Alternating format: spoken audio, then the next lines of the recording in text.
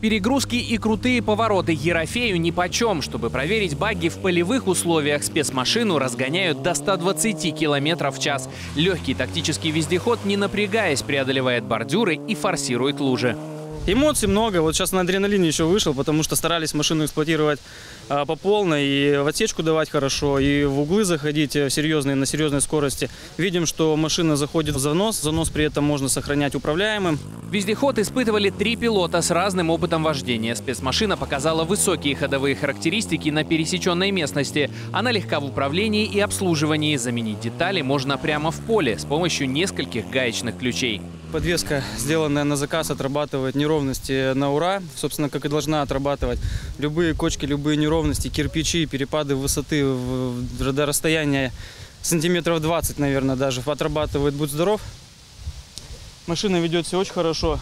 Грязи много, правда, летит в лицо. Но ничего, это решаемо.